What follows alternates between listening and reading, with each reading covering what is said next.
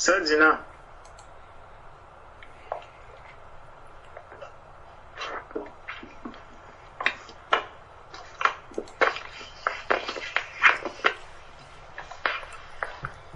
Sœur Dina.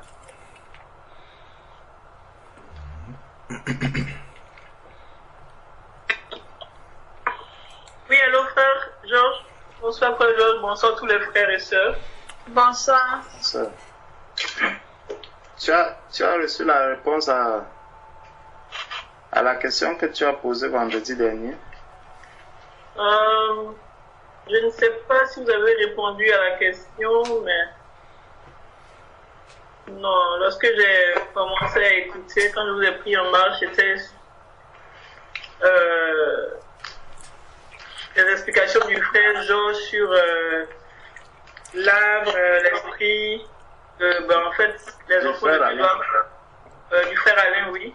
Les enfants de Dieu doivent, comment dire, maladies- la maladie n'est pas de Dieu. Voilà, c'est ce que j'ai, c'est à partir de là que j'ai tout écouté jusqu'à maintenant. Mais avant, non, je sais pas là. Il y a le, le frère Sébastien qui a dû t'envoyer un message. D'accord, je vais essayer de. Je, la réponse du frère Sébastien sur le téléphone de Abigail.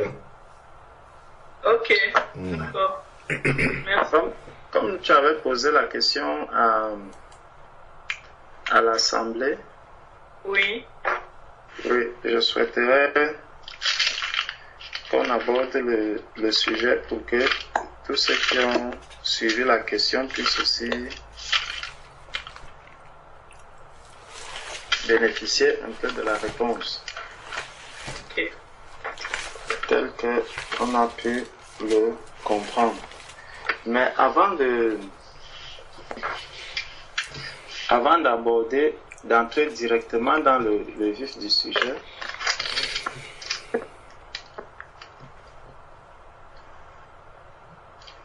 j'aimerais partir d'un point un peu plus reculé qui va nous aider, qui pourra nous aider un peu à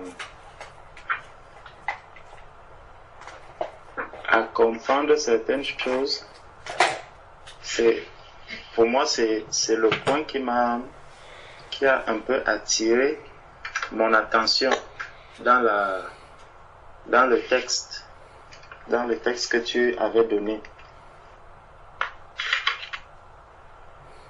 Amen. Prenons Exode Exode au chapitre 20.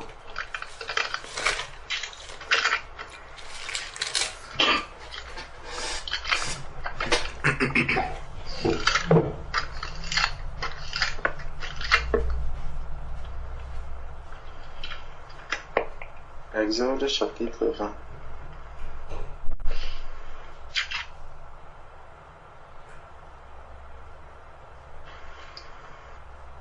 Au verset 14. Exode chapitre 20, verset 14. C'est un commandement du Seigneur. Tu ne commettras point d'adultère. Tu ne commettras point d'adultère. Quand on regarde ce, ce commandement du Seigneur, en fait, la sagesse de Dieu est infiniment grande et tout ce que Dieu fait, c'est vraiment pour euh, manifester son amour vis-à-vis de l'être humain que nous sommes. Dieu est celui qui a créé la, famille. Dieu est celui qui a créé la famille et il dit que personne ne sait pas ce que Dieu a uni.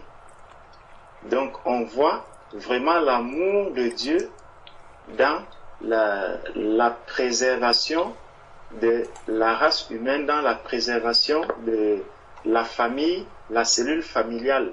Elle est vraiment précieuse aux yeux du Seigneur. Et d'ailleurs, la relation que Christ a avec l'Église, c'est la relation de époux avec épouse, avec l'épouse. Donc quand Dieu donne le commandement de Exode chapitre 20 verset 14, tu ne commettras point l'adultère, c'est vraiment un, euh, un commandement de l'amour de Dieu manifesté dans le cadre de la famille.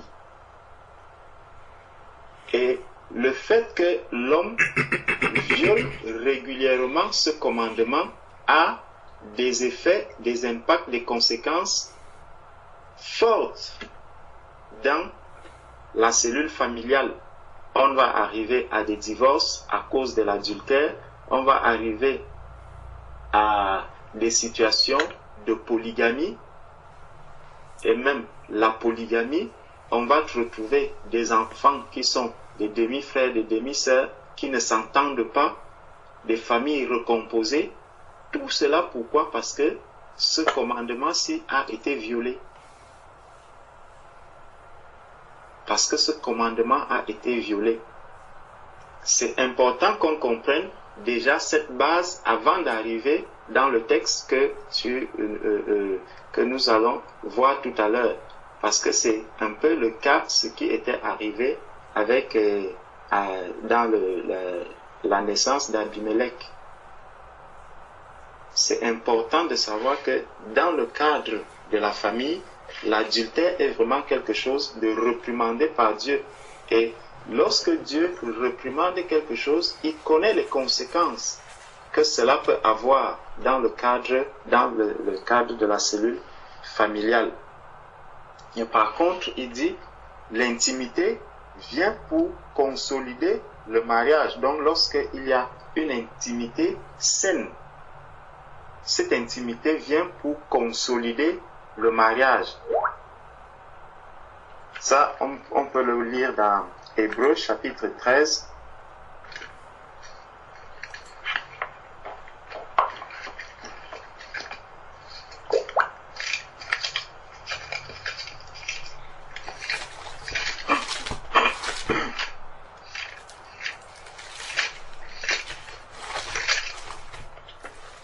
Hébreu, Hébreu chapitre 13,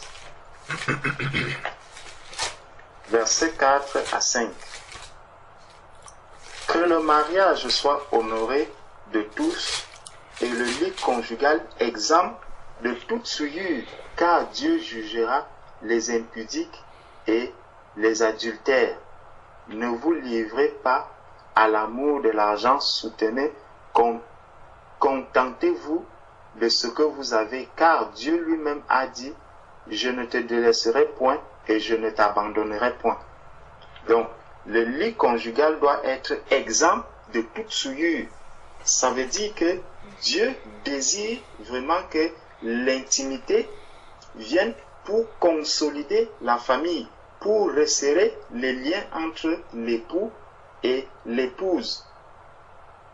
C'est cela qui va honorer le mariage. Le mariage doit être honoré de tous, en commençant par les, les deux conjoints. Ils doivent honorer déjà le mariage. Et tous ceux qui sont autour doivent honorer le mariage. Donc, si l'un des époux sort pour aller commettre l'adultère, le mariage est déjà déshonoré en ce temps-là. Le mariage est déshonoré. Donc même celle qui viendra pour sortir ou pour aller dans une intimité avec un homme marié ou une femme mariée, lui aussi, il vient aussi euh, à son niveau déshonorer encore le mariage. Que le mariage soit honoré de tous et le lit conjugal exempt de toute souillure, car Dieu jugera les impudiques et les adultères. Donc, Dieu a vraiment ce désir de voir comment est-ce que dans le mariage, dans le couple, la vie, la vie se, euh, euh, se déploie. Il veut voir comment est-ce que l'amour parfait puisse être déployé dans, au sein de la famille entre les parents, entre l'époux et l'épouse, les parents et les enfants, tous doivent être dans l'amour. L'amour fraternel doit être manifesté dans la cellule familiale. Aujourd'hui, on se retrouve dans une société où les hommes se marient très rapidement, donc les personnes se marient rapidement, mais maintenant, pour rester marié ou pour garder le mariage, ça devient quelque chose de très difficile. Vous allez voir des gens qui se marient aujourd'hui, c'est très facile, ils se rencontrent deux jours après, un mois après, ils sont devant le maire. Ils finissent d'organiser la fête. Quand la fête finit, le mariage aussi commence déjà à compter ses jours pour prendre fin. Après, on se retrouve chez le juge, on prononce le divorce et on attend la prochaine occasion de fête pour célébrer le mariage avec quelqu'un d'autre. Donc, le mariage devient aujourd'hui quelque chose de banal. On a banalisé le mariage. Pourtant, tel n'en était pas ainsi au commencement. Ce n'était pas ça la volonté de Dieu au commencement. Donc, Psaume 119, verset 9.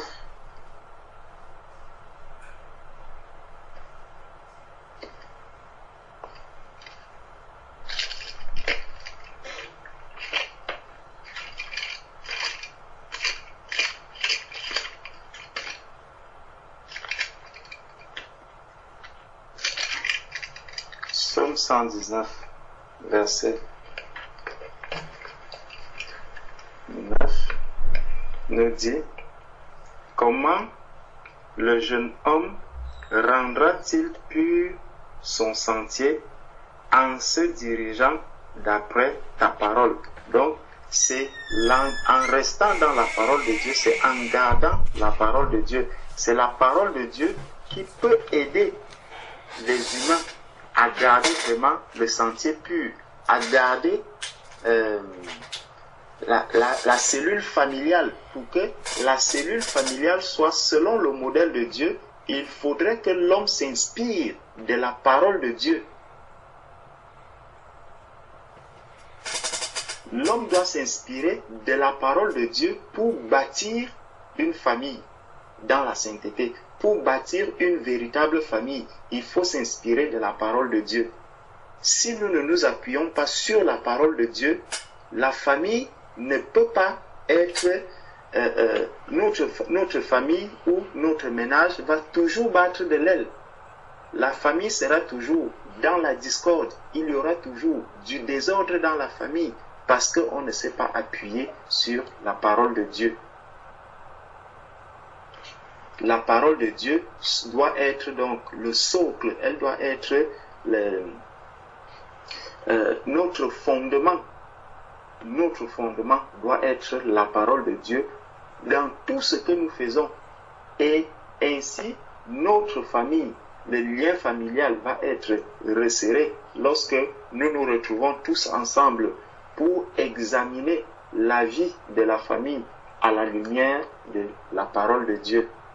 Comment nous devons nous comporter dans la famille à la lumière de la parole de Dieu?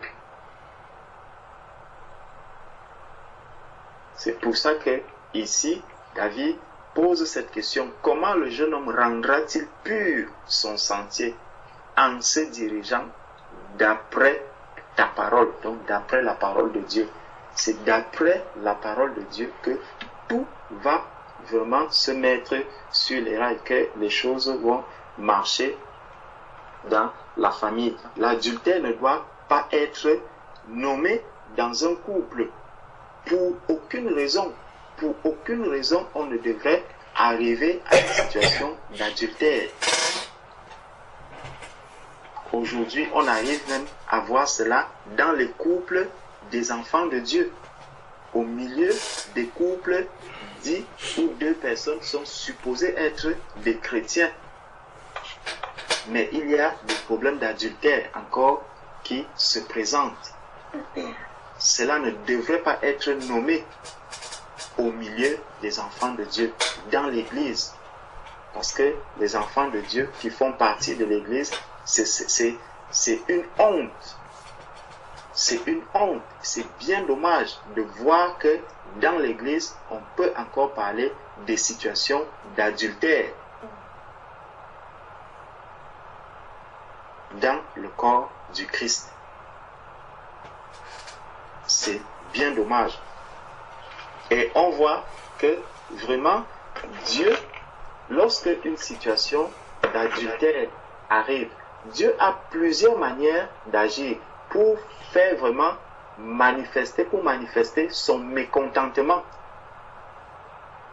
Pour manifester son mécontentement, il y a des exemples que l'on prend souvent en disant, mais voilà tel, il a servi Dieu, mais il avait plusieurs femmes. Tel, il a fait ceci, mais il avait plusieurs femmes. Ce n'est pas des modèles qu'il faut prendre. Souvent, le Seigneur utilise euh, euh, cela pour nous montrer qu'effectivement, la polygamie, par exemple, est une très mauvaise chose.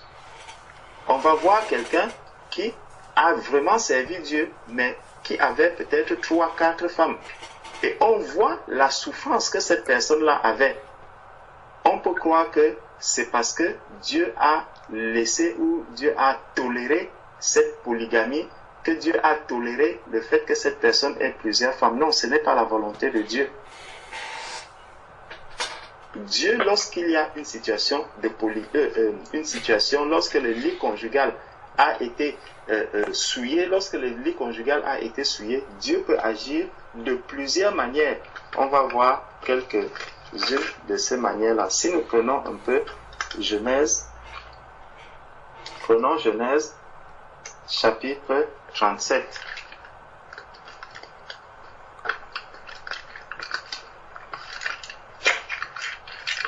Genèse chapitre 37.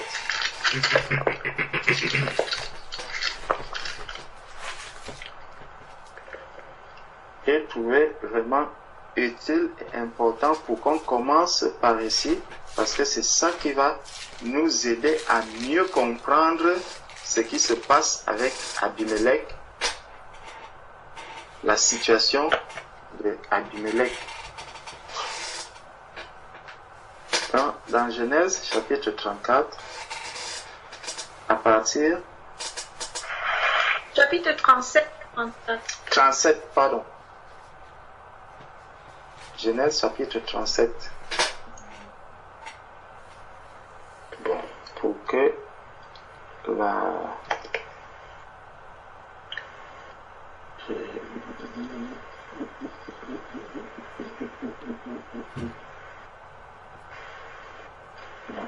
ne sais pas comment je peux découper cela. Je ne sais pas comment je peux découper cela. Je ne sais pas comment je peux découper cela. Bon, c'est l'histoire de Joseph qui a été, qui avait été vendu par, euh, par ses frères. Joseph qui avait été vendu par ses frères.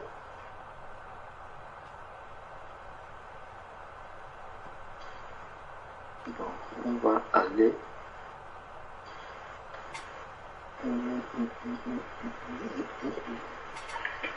On va prendre quel verset qui va nous intéresser.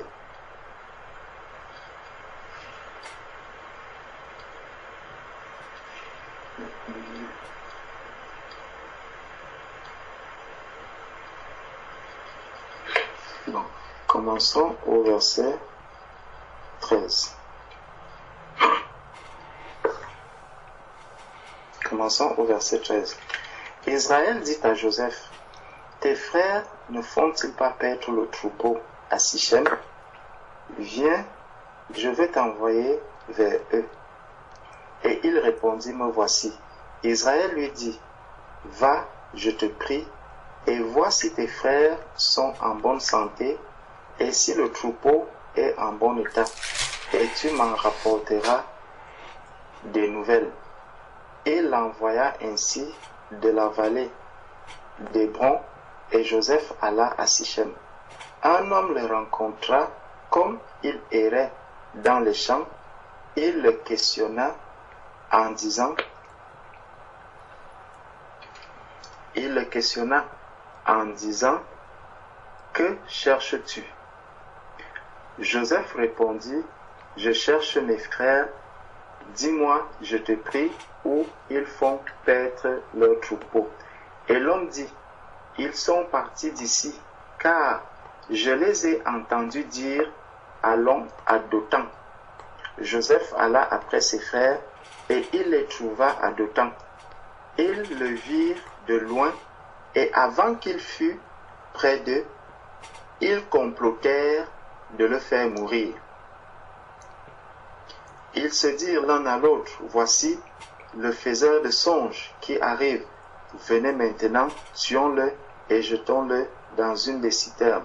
Nous dirons qu'une bête féroce l'a dévoré et nous verrons ce que deviendront ces songes.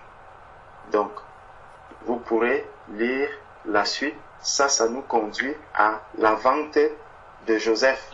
Joseph est donc parti. Quand Joseph s'en va, il va se retrouver maintenant dans, euh, dans, dans, dans une famille. Il va se retrouver dans une famille où il y a justement un couple. Où il y a un couple. Donc, continuons.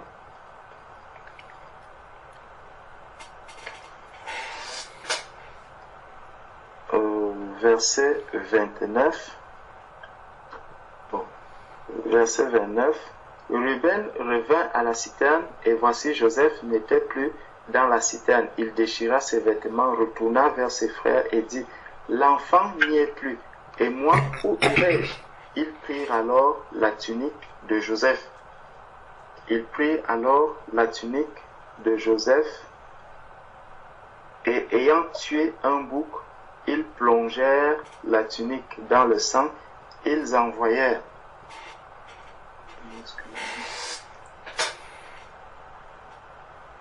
ils envoyèrent à leur père la tunique de plusieurs couleurs en lui faisant dire Voici ce que nous avons trouvé. Reconnais si c'est la tunique de ton fils ou non. Jacob l'a reconnu et dit C'est la tunique de mon fils. Une bête féroce l'a dévoré. Joseph a été mis en pièces et il déchira ses vêtements. Il mit un sac sur ses reins et il porta longtemps le deuil de son fils. Tous ses fils et toutes ses filles vinrent pour le consoler, mais il ne voulut recevoir aucune consolation. Il disait, c'est en pleurant que je descendrai vers mon fils au séjour des morts, et il pleurait ses fils. Les Madianites le vendirent en Égypte à Potiphar, officier de Pharaon, chef des gardes. Donc, voilà l'acte de vente qui a donc été déjà scellé. Quand on, je vous fais grâce de toute la lecture, allons dans Genèse chapitre 45.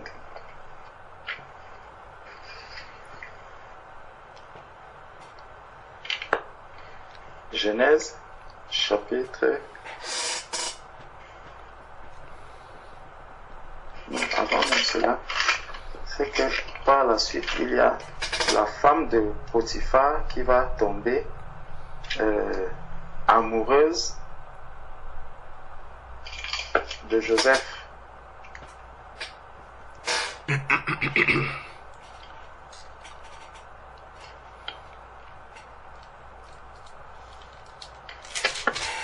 C'est ça, n'est-ce pas? C'est le chapitre 39. enfin. Le chapitre 39, hein? Oui. Ok. Merci beaucoup, merci.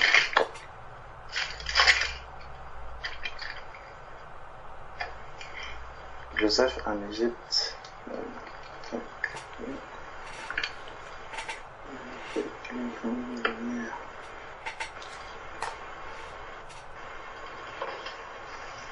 Donc, Genèse 39. On fit descendre Joseph en Égypte et Potiphar, officier de Pharaon, chef des gardes égyptiens, l'acheta des Ismaélites qui l'y avaient fait descendre. L'Éternel fut avec lui et la prospérité l'accompagna. Il habitait dans la maison de son maître, l'Égyptien. Son maître vit que l'Éternel vit que l'Éternel était avec lui et que l'Éternel faisait prospérer entre ses mains tout ce qu'il entreprenait. Joseph trouva grâce aux yeux de son maître qu'il employa à son service, l'établit sur sa maison et lui confia tout ce qu'il possédait. Dès que Potiphar lui établit sur la maison, sur sa maison et sur tout ce qu'il possédait, l'Éternel bénit la maison de l'Égyptien à cause de Joseph. Et la bénédiction de l'Éternel fut sur tout ce qui lui appartenait, soit à la maison, soit au champ. Il abandonna aux mains de Joseph tout ce qui lui appartenait. Il n'avait avec lui d'autre soin que celui de prendre sa nourriture. Or, Joseph était beau de taille et beau de figure. Début des problèmes. Après ces choses, il arriva que la femme de son maître porta les yeux sur Joseph et dit, couche avec moi. Donc, Joseph a été vendu par ses frères. Il est maintenant au service de Potiphar. Et Potiphar a une femme. La femme, au lieu de garder ses regards sur son mari, elle porte maintenant ses regards sur Joseph. Après ces choses, il arriva que la femme de son maître porta les yeux sur Joseph et dit, couche avec moi. Il refusa et dit à la femme de son maître, voici, mon maître ne prend avec moi connaissance de rien dans la maison et il a remis entre mes mains tout ce qui lui appartient. Il n'est pas plus grand que moi dans cette maison et il ne m'a rien interdit excepté toi. Il ne m'a rien interdit excepté toi. Donc, le maître, lui, il a son, euh, comment? Il a son, sa, ses commandements. Voilà, il a son commandement, il a la manière qu'il dirige sa maison. Il a tout laissé entre les mains de Joseph, mais sauf sa femme. Maintenant, la femme, elle, elle veut violer la loi de l'homme. Donc, ce que le maître a interdit, c'est ça, c'est la première chose que la femme de Potiphar, elle, elle voudrait d'abord bafouer. Elle veut aller contre la, euh, la, volonté de son maître, de son mari qui est Potiphar. Donc, on voit par la suite que il n'est pas, il dit, comment ferais-je un aussi grand mal et pécherai-je contre Dieu? Donc Joseph montre à la femme de Potiphar que non, ce que tu me demandes de faire là, c'est un péché contre Dieu. C'est péché contre Dieu que de sortir avec toi, que de coucher avec toi. C'est un péché contre Dieu, même pas contre ton mari, c'est contre Dieu. Pourquoi? Parce que Dieu a dit que le mariage doit être honoré de tout. Le lit conjugal doit être exempt de toute souillure. C'est ce que Dieu a dit. Et euh, euh, Joseph ne voudrait pas du tout, du tout violer ce commandement. Verset 10. Quoiqu'elle parlât tous les jours à Joseph, il refusa de coucher auprès d'elle, d'être avec elle. Un jour qu'il était rentré dans la maison pour faire son œuvre et qu'il n'y avait là aucun des gens de la maison, elle le saisit par son vêtement en disant couche avec moi. Il lui laissa son vêtement dans la main et s'enfuit au dehors. Il s'enfuit au dehors. Donc la femme vient forcer, comme on peut dire, veut violer euh, euh, euh, Joseph, mais malgré toute la richesse. Pourtant, Joseph aurait bien pu dire que, bon, si je suis déjà dans cette maison de Potiphar, en prenant la femme de Potiphar, je serai encore mieux, je serai encore plus bien, je serai encore plus à l'aise. Non, il a préféré partir en laissant tout ce qu'il avait derrière lui. Parce qu'il avait la crainte de Dieu. Parce qu'il craignait Dieu. C'est pour ça qu'on a dit que si nous voulons bâtir une famille solide, une famille qui réjouit le Seigneur, nous devons bâtir cette famille sur la parole de Dieu. La famille se bâtit sur la parole de Dieu, non pas sur les projets personnels, non pas sur les désirs personnels, non pas sur mes propres pensées, non. Il faudrait que nos pensées puissent être alignées à la pensée de Dieu. Joseph va fuir la femme de Potiphar et toute la maison de Potiphar parce qu'il craint Dieu. Il ne voudrait pas qu'il puisse venir souiller le lit conjugal de Potiphar. Donc on rejoint encore là ce dont on parlait tout à l'heure concernant la foi, la foi et les œuvres. C'est que il connaît la parole de Dieu, il a entendu euh, euh, cette parole de Dieu et il la pratique. Fuyez l'impudicité, c'est ce que Joseph est en train de faire ici. Il fuit l'impudicité, il fuit le péché contre son corps, il fuit, il veut fuir tout cela. Donc, Joseph ne veut pas entrer dans une quelconque compromission. Et là donc, on voit tout ce qui va s'en suivre par la suite. Il y a bien des représailles qui vont arriver contre Joseph.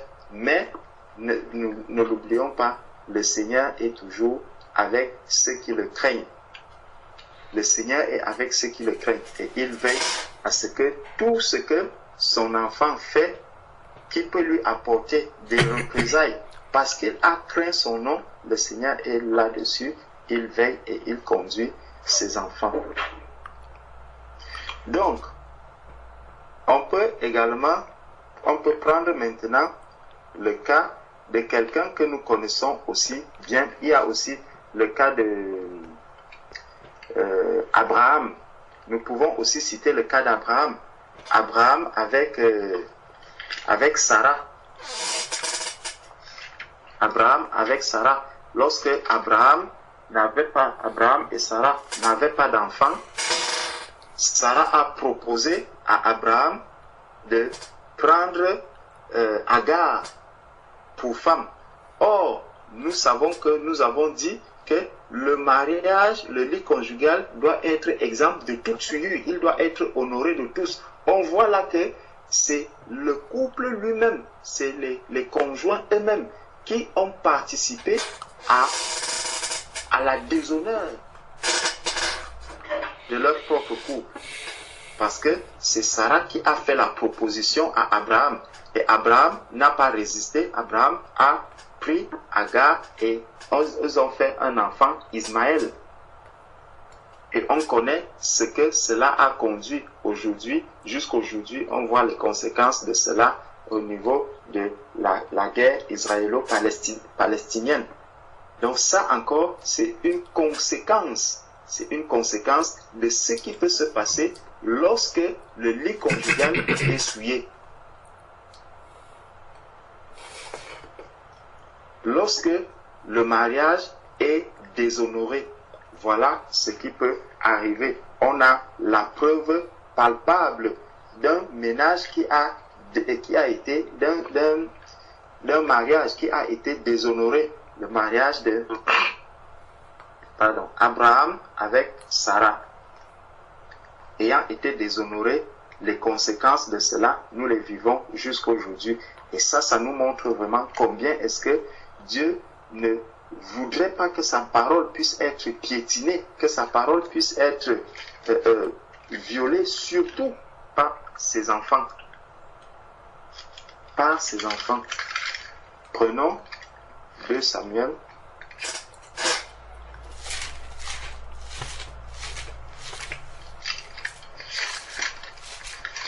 Et nous prenons 2 Samuel, chapitre. Et ça encore, c'est les, euh, euh, c'est les œuvres du diable. C'est les œuvres du diable.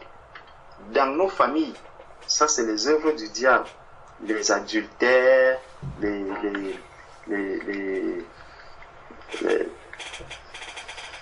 les, les, polygamies, tout ça c'est les œuvres du diable. Ce n'est pas du tout la volonté de Dieu. Si nous prenons 2 Samuel chapitre 12. 2 Samuel chapitre 12.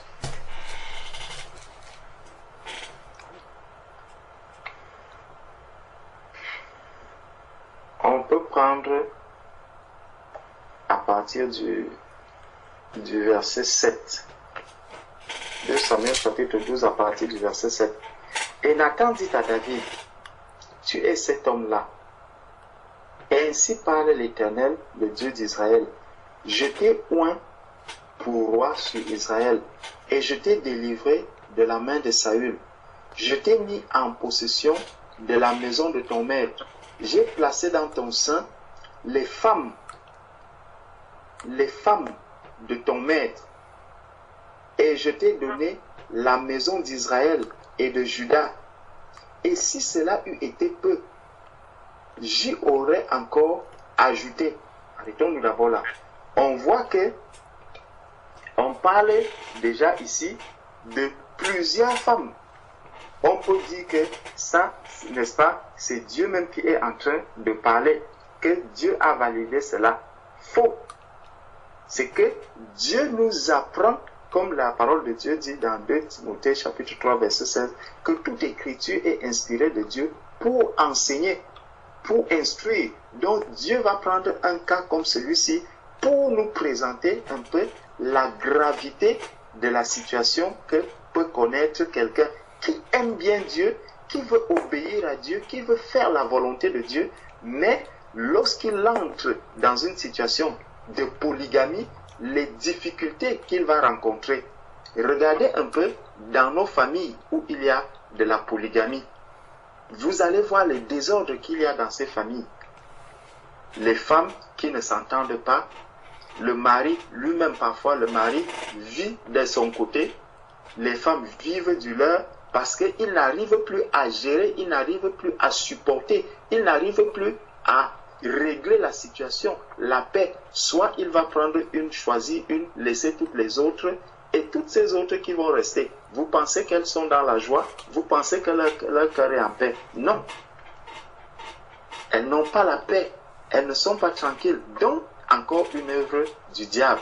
Le diable vient pour détruire la famille. Les enfants, vous pensez qu'ils vont aussi rester comme ça et accepter voir leur maman qui a été écartée du ménage? Non, les enfants aussi ne seront pas tranquilles. Ça va créer un, un, rouleau dans lequel il n'y aura plus de, de, de, paix les enfants ne seront plus en paix entre eux, les enfants ne, seront, ne vont plus s'entendre, les enfants ne pourront plus s'aimer, les enfants ne pourront plus euh, accepter, accepter la communion, la communion entre frères et sœurs. Pourtant, c'est une bonne chose. Mais vous allez voir que même lorsque les enfants se retrouvent entre eux, chacun essaye de prendre le parti de sa maman, chacun essaye de prendre le parti duquel il vient.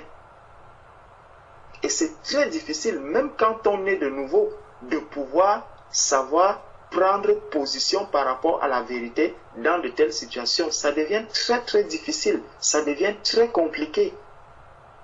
Ça encore, c'est une œuvre du diable. Donc, verset 9, pourquoi donc as-tu méprisé la parole de l'Éternel en faisant ce qui est mal à ses yeux? Tu as frappé de l'épée Uri, le Étien, tu as pris sa femme pour en faire ta femme.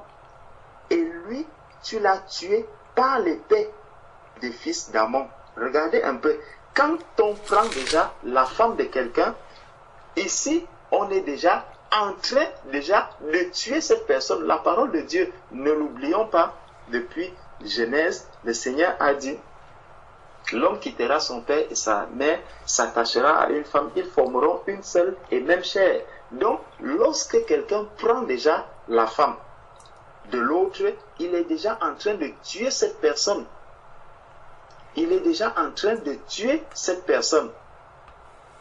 Et ce qui est arrivé ici, c'est que le serviteur, le serviteur de Dieu qui était David, il est justement rentré, il a manifesté cela même par la chair, au point de tuer physiquement Uri. Il a éliminé physiquement Uri pour prendre sa femme. Et tout ça, c'est quoi? C'est les désirs de la chair, l'adultère, ces, toutes ces choses qui arrivent par la chair, c'est des œuvres du diable. Et le diable ne vient que pour détruire. Donc, et la suite, c'est que, verset 10, maintenant l'épée ne s'éloignera jamais de ta maison, parce que tu m'as méprisé et parce que tu as pris la femme du riz, le Étien, pour en faire ta femme. Pour en faire ta femme. Donc tu as pris la femme de quelqu'un d'autre. Tu as commis l'adultère. Tu as souillé le lit conjugal. Tu as déshonoré ton mariage. Donc souvent, le déshonneur du mariage, souvent on pense que c'est des personnes de l'extérieur qui viendront amener le mariage à être déshonoré. Non, souvent c'est les, généralement même, c'est les conjoints eux-mêmes. C'est les conjoints eux-mêmes qui vont amener les personnes à déshonorer le mariage. Donc, ainsi parle l'Éternel, voici, je vais faire sortir de ta maison le malheur contre toi, et je vais prendre sous tes yeux tes propres femmes, pour les donner à un autre qui couchera avec elles à la vue de ce soleil. Regardez, ça c'est vraiment la, la, la, colère de Dieu. Comment est-ce que Dieu est attristé? C'est ça qui nous montre que Dieu ne valide pas la polygamie. Dieu ne peut pas valider la polygamie, ni même l'adultère. Peu importe le moyen par lequel on va passer, le chemin qu'on voudra emprunter pour euh, euh, euh, tomber dans l'adultère, Dieu ne peut pas le valider. Dieu ne peut pas le valider. Il dit, pour les donner à un autre qui couchera avec elle à la vue de ce soleil. Ce que tu aimes, ce que tu aimerais qu'on fasse pour toi, fais-le aussi aux autres. Donc, si tu aimerais qu'on couche avec tes femmes, couche aussi, permet aussi que les autres couchent avec la tienne. Donc, lorsque quelqu'un se lève et il va prendre la femme, soit de son frère, la femme de quelqu'un d'autre, tu sais que cette femme-ci, elle est mariée. Tu pousses une femme mariée à aller divorcer. Tu pousses un homme marié à aller divorcer parce que tu veux le prendre, parce que tu voudrais qu'il devienne ton mari ou parce que tu voudrais qu'elle devienne ta femme. Voici ce qui arrive. Le Seigneur dit, à, à, promet à David, je prendrai aussi ta femme, on va coucher avec elle sous ce soleil. Dieu va frapper parce que tu as fait quelque chose de mal.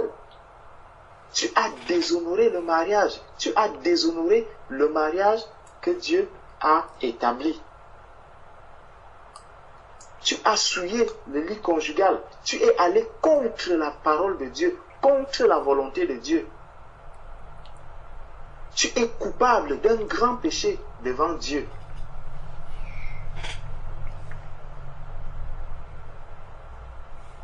Donc, il dit, car tu as agi en secret, et moi je ferai cela en présence de tout Israël et à la face du soleil. David dit à Nathan, j'ai péché contre l'Éternel. Et Nathan dit à David, l'Éternel pardonne ton péché, tu ne mourras point. Donc on voit que Dieu n'a pas du tout, du tout toléré l'acte que euh, euh, David a posé avec vis-à-vis de Uri, vis-à-vis de la femme de Uri. Et il y a donc son euh, donc l'enfant même qu'ils qu'ils vont avoir qui sortira de cette première relation, cet enfant finira même par partir. Dieu va lui enlever la vie. Dieu va lui enlever la vie.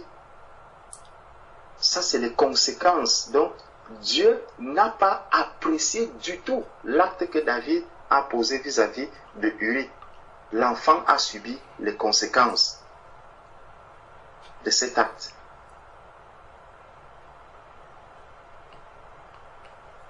L'enfant qui était issu de cette relation, Dieu n'a pas accepté que cet enfant puisse rester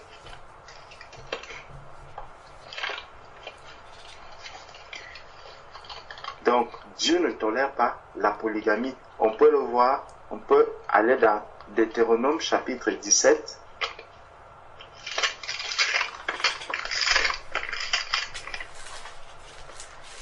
Deutéronome chapitre 17, partir du verset 15. Deutéronome chapitre 17, partir du verset 15. Tu mettras sur toi un roi que choisira l'Éternel que choisira l'Éternel ton Dieu, tu prendras un roi du milieu de tes frères. Tu ne pourras pas te donner un étranger qui ne soit pas ton frère, mais qu'il n'ait pas un grand nombre de chevaux et qu'il ne ramène pas le peuple en Égypte pour avoir beaucoup de chevaux, car l'Éternel vous a dit, vous ne retournerez plus par ce chemin-là qu'il n'ait pas un grand nombre de femmes, afin que son cœur ne se détourne point et qu'il ne fasse pas de grands amas d'argent et d'or. Donc Dieu ne permet pas qu'on ait un grand nombre de femmes. Il n'y a pas plusieurs églises. Jésus-Christ n'a qu'une seule épouse, qui est l'Église. Donc, un enfant de Dieu ne peut pas se retrouver avec plusieurs femmes. Christ, l'époux, n'a qu'une seule épouse, qui est l'Église. Donc, dans, certaines situations, il peut arriver que Dieu, parce que là, on a déjà vu le cas de David, on a vu le cas de David, et on a vu ce qui est arrivé à, David. Il peut aussi arriver que dans certaines situations, justement, Dieu va demander à Dieu va chasser les enfants issus de l'adultère. Dieu va chasser les enfants issus de l'adultère. C'est ce que Dieu a fait avec, euh, euh, justement, on a appris tout à l'heure le cas d'Abraham. Abraham avec euh, Ismaël et Isaac, où Sarah est venue, vous pouvez le voir, vous pouvez le lire dans Genèse 21. Genèse 21 nous parle de, cette situation où Sarah, lorsqu'elle a donné Agar à Abraham, ils ont fait un enfant, Ismaël, et Dieu a encore demandé à, Abraham de chasser cet enfant parce que ce n'était plus Sarah était s'est bien rendu compte qu'elle a été déshonorée, qu'elle a été humiliée et dans cette humiliation, elle, est revenue en disant à son mari Abraham que tu dois chasser cette femme et son enfant. Pourtant, c'est elle-même qui a proposé Agar à son mari. Donc on voit que peu importe le, moyen par lequel cela est passé, ce n'est pas la volonté de Dieu. Ça ne peut pas être la volonté de Dieu. Dieu ne peut pas valider cela. Donc même si toi tu es marié à un homme, tu ne fais pas d'enfant, tu prends une autre femme, tu la donnes à ton mari, ce n'est pas la volonté de Dieu. Tu es en train de déshonorer le mariage et Dieu ne peut pas valider cela. C'est des choses que les gens font aujourd'hui. C'est des choses qui se passent. Mais ce n'est pas la volonté de Dieu du tout. C'est ce qui a causé la guerre entre Israéliens et Palestiniens. C'est l'origine de cette guerre. À cause de l'adultère. Donc Dieu est venu valider que Abraham chasse Ismaël de là où, euh, euh, là où il se trouvait. Et Ismaël est parti. Regardez donc la souffrance de l'enfant.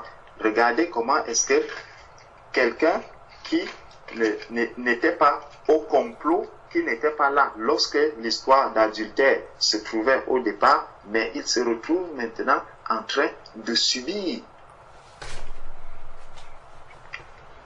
les conséquences de l'adultère.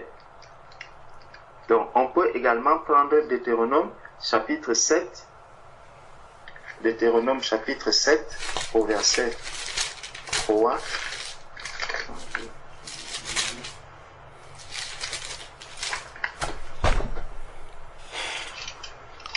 Deutéronome chapitre 7, verset 3.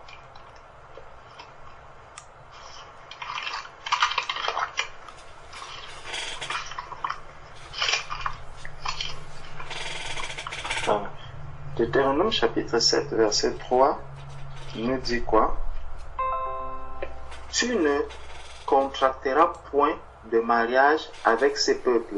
Tu ne donneras point tes filles à leurs fils et tu ne prendras point leurs filles pour tes fils.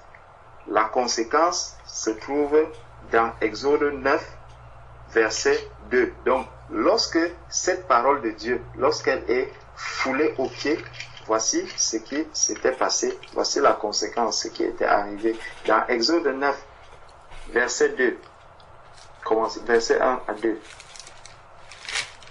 Après que cela fut terminé, les chefs s'approchèrent de moi en disant, le peuple d'Israël, les sacrificateurs et les Lévites ne se sont point séparés des peuples de ces pays.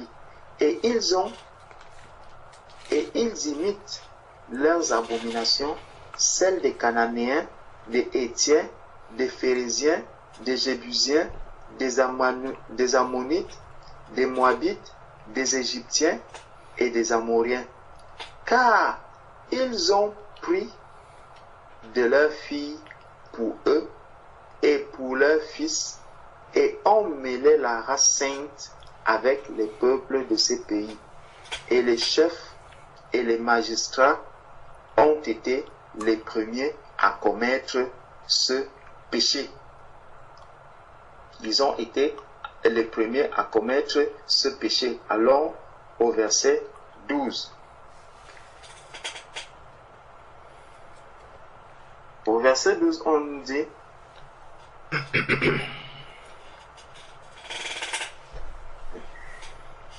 euh. Ne donnez, on nous rappelle, ne donnez point vos filles à leurs fils et ne prenez point leurs filles pour vos fils et n'ayez point et n'ayez jamais souci ni de leur postérité ni de leur bien-être et ainsi vous deviendrez fort. Vous mangerez les meilleures productions du pays et vous le laisserez pour toujours en héritage. Si on tombe maintenant au chapitre 10, verset 3. Faisons maintenant une alliance avec notre Dieu pour le renvoi de toutes ces femmes et de leurs enfants selon la vie de mon Seigneur et de ceux qui tremblent devant le commandement de notre Dieu et que l'on agisse d'après la loi. On voit que Dieu a donné une loi, c'est qu'il ne devait pas prendre des femmes étrangères. Ils ont pris des femmes étrangères et la loi de Dieu est claire dessus. Dieu vient parler et il dit, toutes ces femmes, vous devez les faire partir. Et non seulement les femmes, mais aussi les enfants. Mais aussi les enfants parce que ce n'est pas, ce n'est pas la volonté de Dieu. Donc, lorsque on foule au pied la volonté de Dieu en ce qui concerne le mariage, ça devient, les conséquences peuvent être très très dangereuses, elles peuvent être très graves. Les conséquences de ce péché peuvent être très graves. Dieu ne va pas regarder que c'est parce qu'il y a déjà des enfants, c'est parce qu'il y a déjà ceci, c'est parce que... Non. Néanmoins, dans la nouvelle alliance, Dieu a établi le mariage et qui nous a accordé, il nous a accordé la grâce de pouvoir pardonner. Donc, lorsqu'il lorsqu'il arrive qu'il y a une situation d'adultère, par exemple, lorsque la situation d'adultère arrive, Dieu nous a donné la capacité de pouvoir pardonner. Cela ne veut pas dire que Dieu autorise cela, non. Mais parce que Dieu ne veut pas que la casse soit encore plus grande. Il va donner donc la possibilité à la personne qui a été, par exemple, trompée, de pouvoir pardonner à l'autre. De pouvoir pardonner à l'autre. Et même lorsque dans cette, euh, euh, euh, union qui n'est pas valide devant Dieu, lorsqu'il arrive, par exemple, une situation de la naissance d'un enfant, la personne qui a cet enfant doit pouvoir s'en occuper. Elle doit pouvoir s'en occuper. Si nous prenons Matthieu au chapitre 6,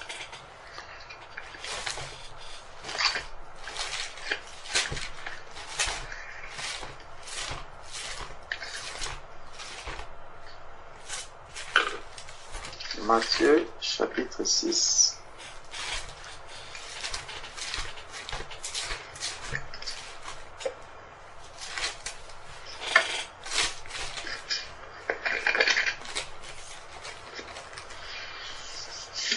Matthieu chapitre 6, partie du verset 14. Si vous pardonnez aux hommes leurs offenses, votre Père céleste vous pardonnera aussi. Mais si vous ne pardonnez pas aux hommes, votre Père ne vous pardonnera pas non plus vos offenses. Donc, si quelqu'un t'a offensé, le Seigneur dit que, en tant qu'enfant de Dieu, tu dois pouvoir le pardonner. Tu dois pouvoir pardonner à ton frère, tu dois pouvoir pardonner à ton mari, tu dois pouvoir pardonner à ton épouse l'acte qui a été posé. Cela ne veut pas dire que quelqu'un va aller poser cet acte en disant Ah, je vais être pardonné. Non, ce n'est pas ce que le Seigneur demande. Tu ne sais pas quelles sont les conséquences que cela peut avoir dans ta vie, dans ton couple, dans ta, dans ta marche.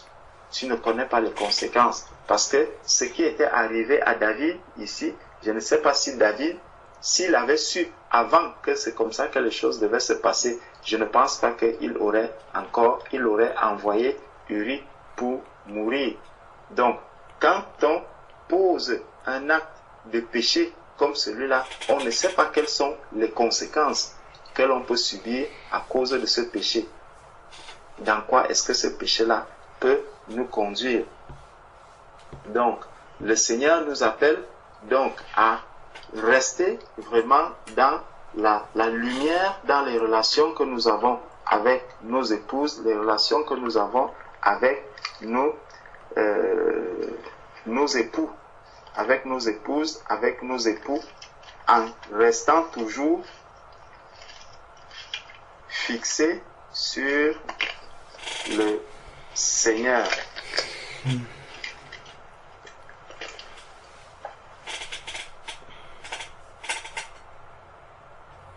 en restant toujours fixé sur le Seigneur.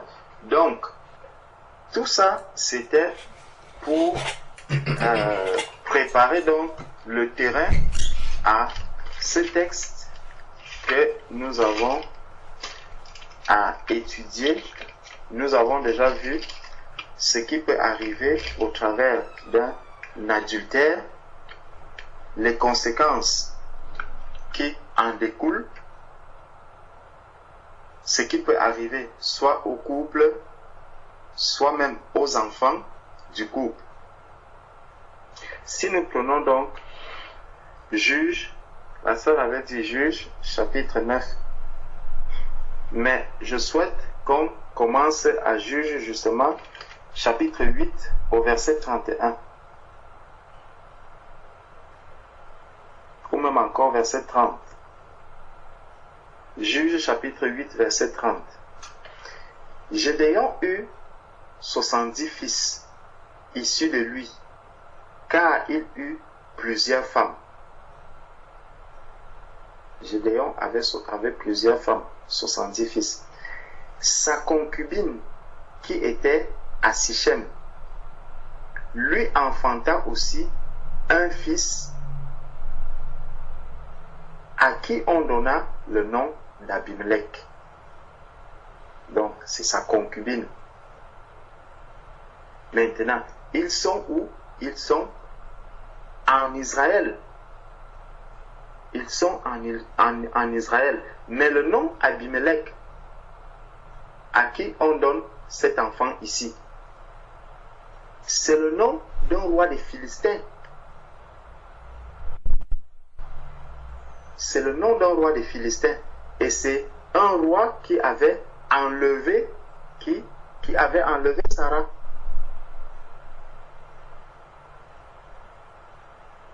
Donc, on comprend déjà que seulement par le nom de la personne, on voit qu'il y a des problèmes qui vont arriver ici. Il y a des problèmes qui vont arriver. Sa concubine qui était à Sichem lui enfanta aussi un fils à qui on donna le nom d'Abimelech.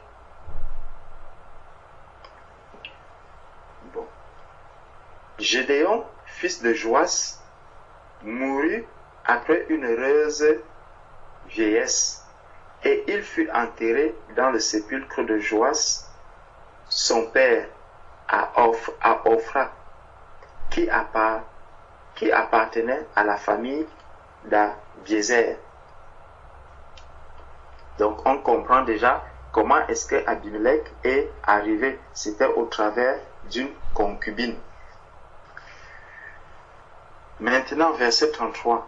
Lorsque Gédéon fut mort, les enfants d'Israël recommencèrent à se prostituer au Baal. Et ils prirent Baal Pour leur Dieu. Ils prirent Baal Bérite pour leur Dieu. Et ce qui amène justement les enfants d'Israël à agir de cette manière, c'est que Gédéon même qui était avec eux, Gédéon n'a pas tranché par rapport à sa foi. Gédéon n'a pas tranché par rapport à sa foi. Si nous remontons au verset 27, on voit Gédéon a fait un effort et il le plaça dans sa ville, à Ophra, où il devint l'objet de prostitution de tout Israël et il fut un piège pour Gédéon pour sa maison.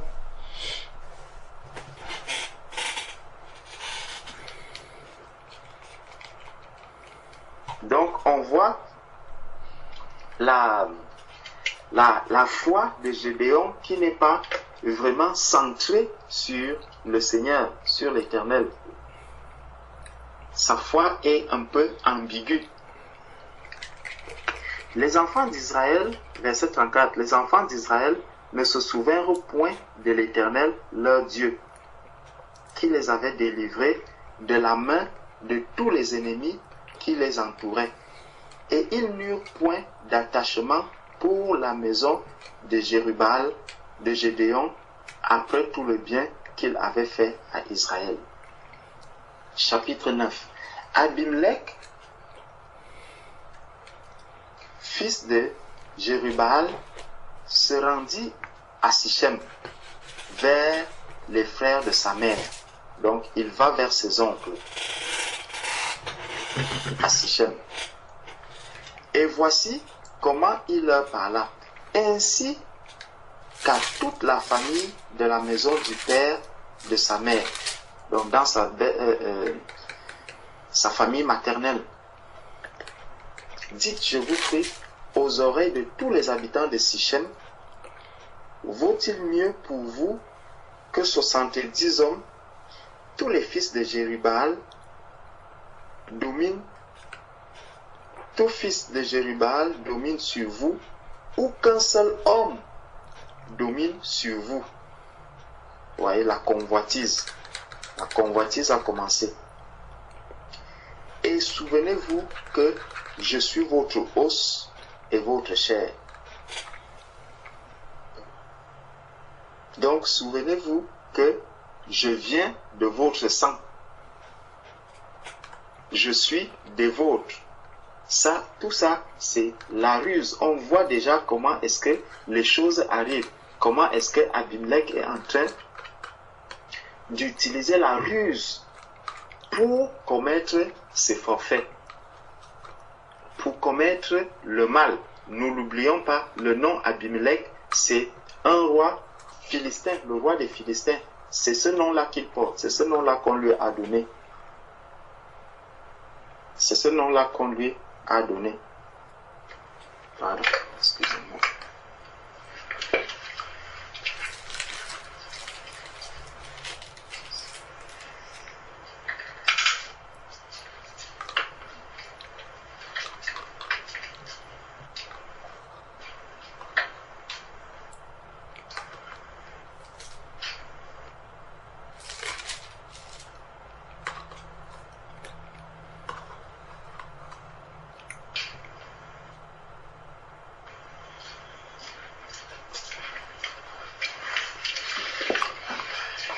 Merci.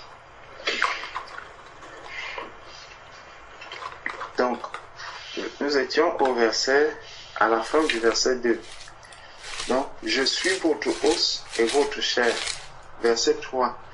Les frères de sa mère répétèrent pour lui toutes ces paroles aux oreilles de tous les habitants de Sichem et leur cœur inclina en faveur d'Abimelech, car il se disait, c'est notre frère. Donc, Abimelech va utiliser la corde sensible, le lien de parenté, le lien de sang, le lien de chair. C'est ce lien que Abimelech vient présenter à toute la euh, euh, la communauté de Sichem pour qu'il puisse valider le plan machiavélique qu'il veut accomplir. Donc, il dit, c'est notre frère. Maintenant, il lui donnait 70 sigles d'argent qu'ils enlevèrent, qu'ils enlevèrent de la maison de Baal Bérite Abimelech s'en servit pour acheter des misérables et des turbulents qu'ils allèrent après lui. Il vint dans la maison de son père à Ophra et il tua ses frères, fils de Jérubal. Vous voyez les conséquences de la polygamie, l'adultère, tout ça. Et voici qu'on retrouve ici. Quand on ne marche pas selon la volonté de Dieu, quand on ne marche pas comme Dieu le demande, les conséquences sont visibles dans la famille. Voici toute une famille qui est décimée. Voici toute une famille qui est décimée. 70 Et il tua ses frères, fils de Jérubal, 70 hommes sur une même pierre. Il n'échappa que Jotan, le plus jeune fils de Jérubal, car il s'était caché. Il y a un seul qui va s'échapper parce qu'il s'est caché. Bon. Tous les habitants de Sichem et toute la maison de Milo se rassemblèrent, ils vinrent et proclamèrent roi Abimelech près du chêne planté dans Sichem.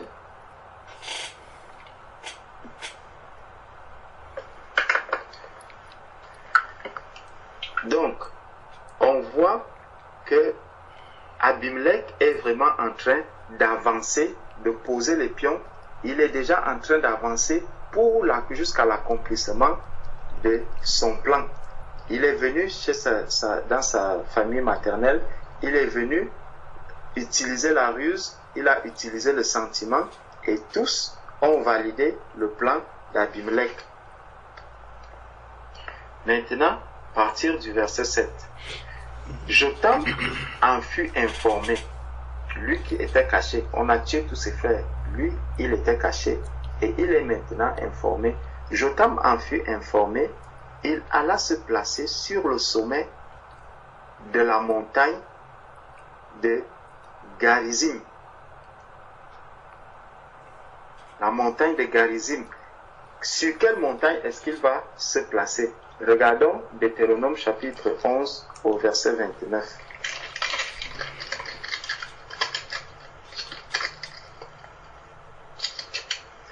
Dans Deutéronome chapitre 11, verset 29, on nous dit, Et lorsque l'Éternel ton Dieu t'aura fait entrer dans le pays dont tu vas prendre possession, tu prononceras la bénédiction sur la montagne de Garizim et la malédiction sur la montagne des Bâles. Donc, la montagne sur laquelle Jotam va se placer, c'est la montagne sur laquelle a été prononcée la bénédiction. La montagne sur laquelle a été prononcée la bénédiction. Ne l'oublions pas, Abimelech, son nom, c'est le nom d'un roi des Philistins et c'est le nom du roi qui avait enlevé Sarah. Si on, euh, si on, si on, si on regardait dans Genèse chapitre 20, en Genèse chapitre 20, c'est un roi qui avait enlevé euh, Sarah.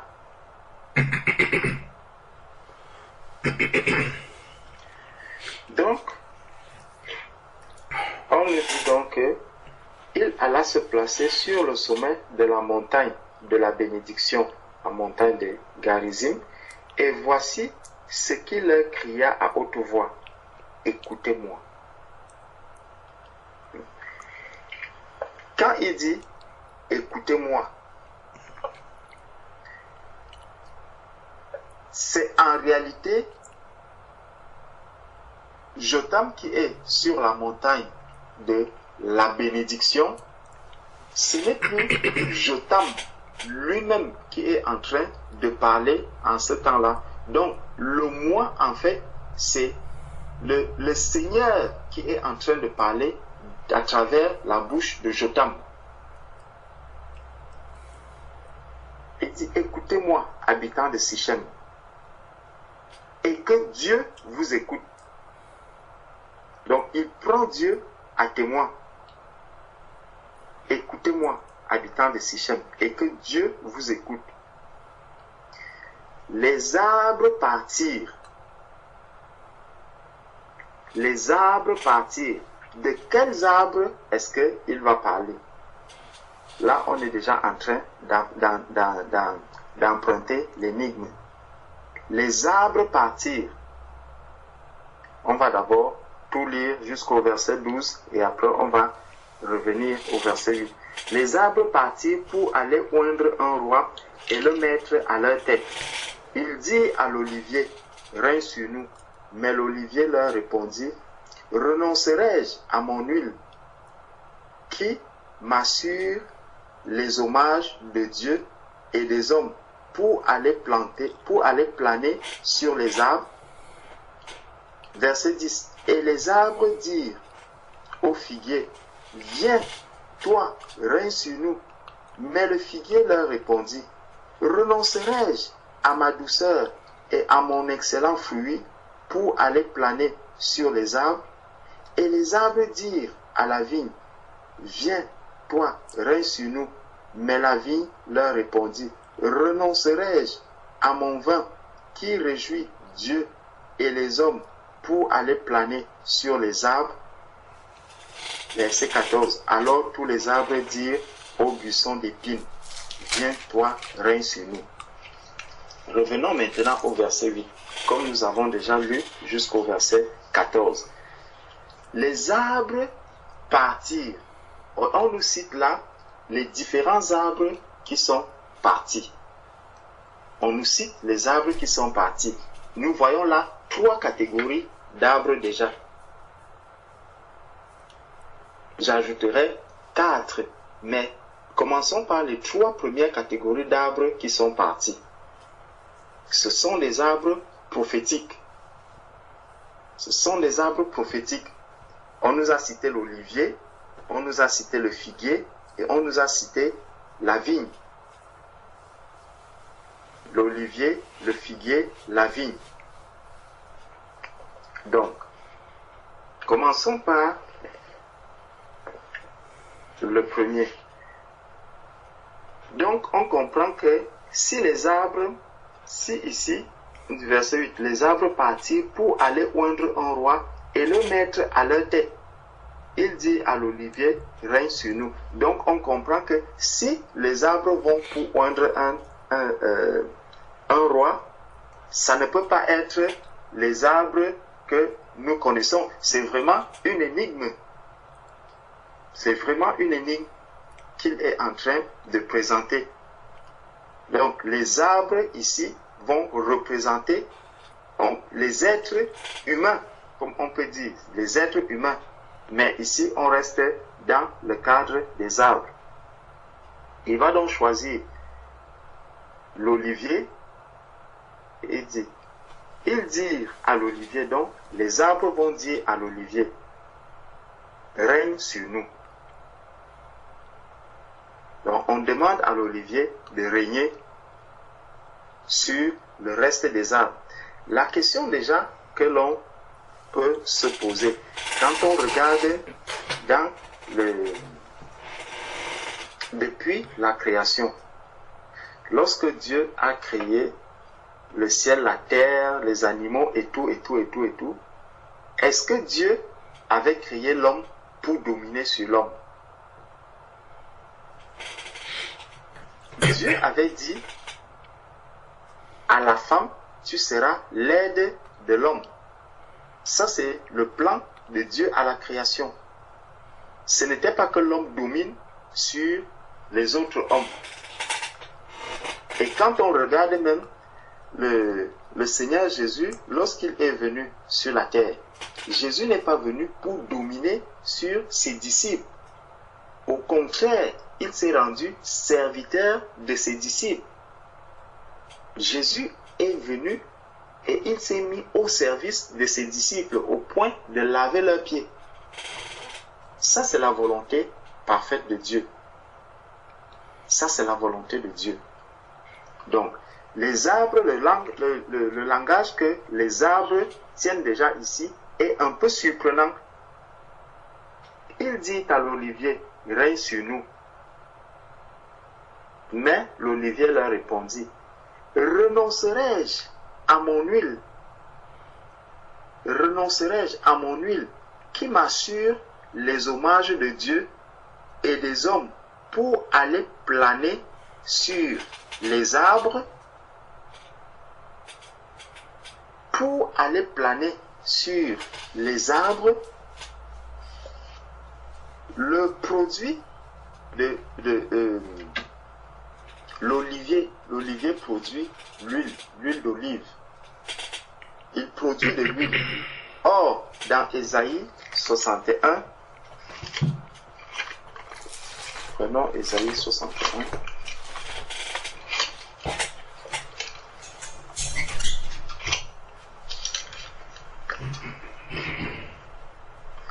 Ésaïe 61. L'Esprit du Seigneur, l'Éternel, est sur moi car l'Éternel m'a oint pour porter de bonnes nouvelles aux malheureux. Il m'a envoyé pour guérir ceux qui ont le cœur brisé, pour proclamer aux captifs la liberté et aux prisonniers la délivrance. Ça, c'est le travail que fait l'huile qui vient de l'olive. L'Esprit du Seigneur l'Éternel est sur moi, car l'Éternel m'a oint. Donc l'Éternel oint et puis l'Esprit vient. Parce que je suis oint, alors l'Éternel, l'Esprit de l'Éternel vient sur moi, parce que je suis oint. Donc, on demande donc à cet olivier qui joue un rôle aussi important. Un rôle aussi important, ça veut dire que Dieu va oindre des personnes, il va oindre des personnes, et puis maintenant l'Esprit de l'Éternel vient descendre sur ces personnes pour qu'elles aillent accomplir un travail. Et maintenant, c'est à ces personnes-là que l'on va dire, non, sors du travail que tu es en train de faire et commence maintenant régner sur nous. Donc, sors du travail de serviteur de Dieu que tu fais et commence à faire de la politique. Et commence à faire telle telle chose qui n'a rien à voir avec le travail pour lequel le Seigneur t'a appelé. Et on voit donc ici, on peut également prendre dans Luc 4 toujours pour appuyer cela. Dans Luc 4.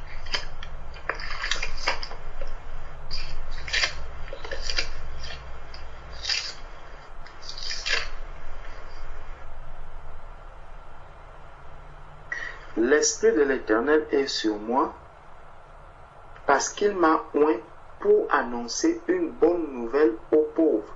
Il m'a envoyé pour guérir ceux qui ont le cœur brisé, pour proclamer aux captifs la délivrance et aux aveugles le recouvrement de la vue, pour renvoyer libres les opprimés, pour publier une année de grâce du Seigneur.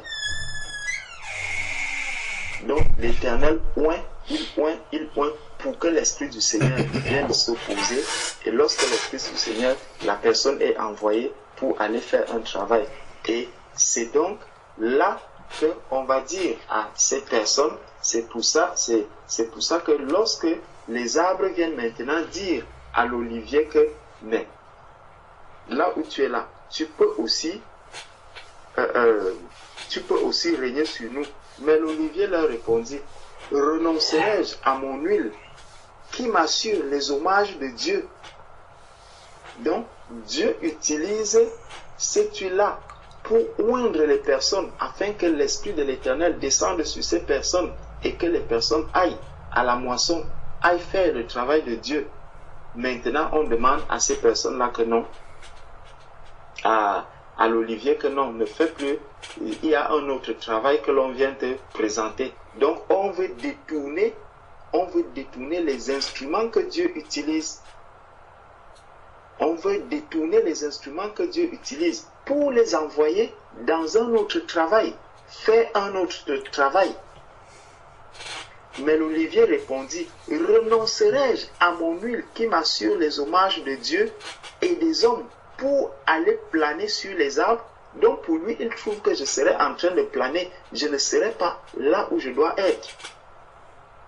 Quand on est un serviteur de Dieu et on sort de là, on se lance maintenant dans la politique, on sort de là pour aller faire des, choses qui n'ont rien à voir avec le service du Seigneur, on est exactement comme cet olivier-là qui, au lieu de renoncer à ce que le, monde lui propose, à ce que les autres arbres lui proposent, au lieu de renoncer à cela, il préfère pour rester au travail, pour rester concentré, centré sur le travail qui lui a été prévu pour l'œuvre à laquelle le Seigneur l'a appelé, il se détourne maintenant de ce travail pour commencer à faire soit de la politique, soit chercher les honneurs des hommes, soit chercher les choses du monde, soit chercher, bref, la gloire des hommes, au lieu de rester centré sur le travail qui lui a été confié. Donc l'Olivier refuse totalement la proposition qui, lui a été faite. Donc, verset 10. Et les arbres dirent aux figuiers, vous voyez, les arbres, celui qui veut détourner les enfants de Dieu, celui qui veut détourner ceux qui sont fidèles au service du Seigneur, il est tellement rusé et il ne va pas s'arrêter s'il va commencer par, par exemple, les sœurs qui sont mariées, il voit que les sœurs qui sont mariées sont, euh, euh, euh, elles ont déjà compris qu'elles ne peuvent pas rentrer dans une quelconque, dans un quelconque adultère. Elles ne peuvent pas tromper son, leur mari. Ils, ils ne vont pas s'arrêter là. Ils vont maintenant tourner, faire volte-face, se tourner maintenant du côté des maris pour que les maris, eux, ils abandonnent les sœurs pour commencer à séduire d'autres sœurs à côté. Mais il va falloir aussi que ces hommes, ces maris aussi puissent être lucides, qu'ils puissent aussi tenir sur la parole qui a été déjà donnée. C'est ce qui se passe maintenant par la suite. Et les arbres disent au figuier, viens, toi, règne sur nous. Mais le figuier leur dit, renoncerai-je à ma douceur et à mon excellent fruit pour aller planer sur les arbres? Le figuier maintenant, c'est l'image d'Israël, c'est l'image d'Israël. Osée chapitre 9, verset 10.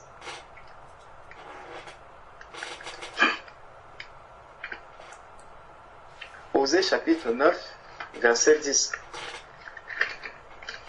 Donc, on voit comment est-ce que le malin est vraiment...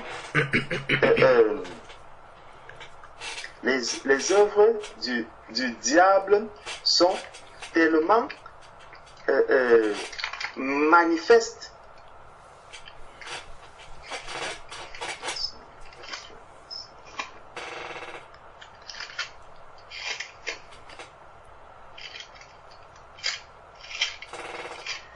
Osée chapitre 9, verset 10, qui nous dit j'ai trouvé Israël comme des raisins dans le désert. Israël comme des raisins dans le désert. Donc, le fruit de l'olivier. Le, euh, pardon, le fruit du, du, du figuier. C'est, j'ai trouvé Israël comme des raisins dans le désert. J'ai vu vos pères comme les premiers fruits d'un figuier.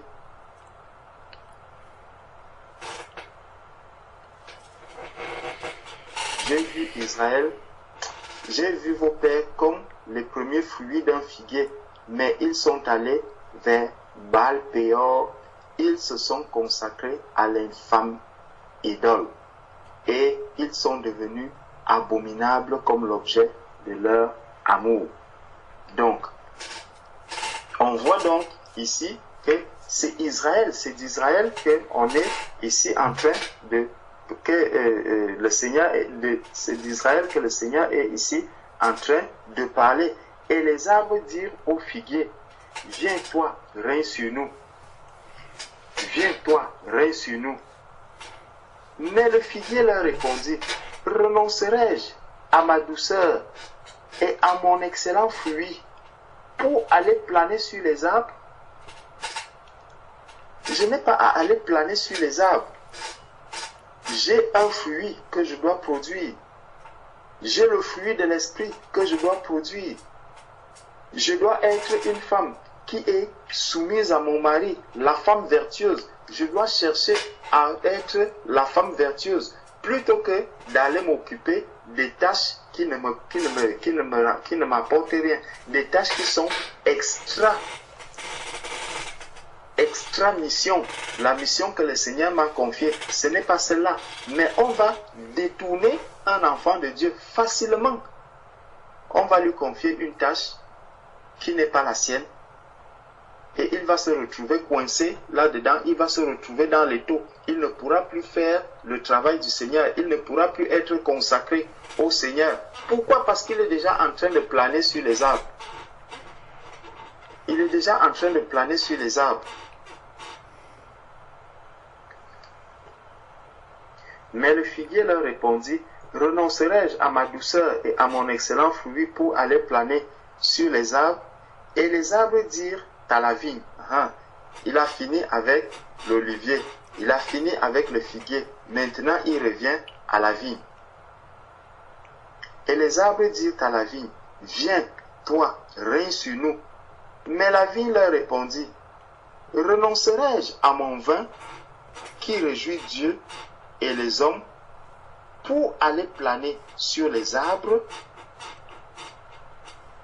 pour aller planer sur les arbres, alors tous les arbres. Donc, on voit encore que là, la vigne aussi, qui réjouit Dieu, la vigne qui réjouit Dieu, n'accepte pas non plus aller faire un travail autre. Donc, il faut rester au service. Rester au poste. J'étais au poste. C'est là que tout vient, que tout arrive. Lorsque je reste au service du Seigneur, si j'ai un travail à faire, c'est le Seigneur a dit, allez annoncer la, bonne nouvelle, allez témoigner le témoignage qui sauve, le témoignage, la vie de Christ, les guérisons, tout ça, c'est le travail que nous avons à faire.